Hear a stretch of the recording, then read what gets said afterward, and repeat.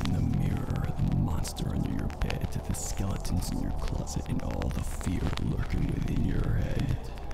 I am the lowless pit of despair and the discordant sense of perpetual agony. I am disposable. I am a means to an end. I am the empty void of solitude. I am the deafening sound of lonesome silence. I am the fragmented thoughts of psychological torment. Parasite vying for in black bond. I am your antithesis.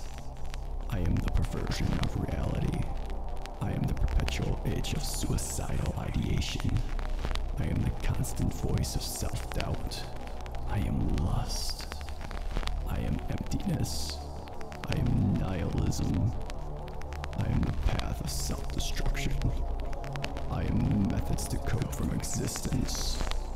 I am Devon, both devil and demon, cast into the shadows, never to reach the light.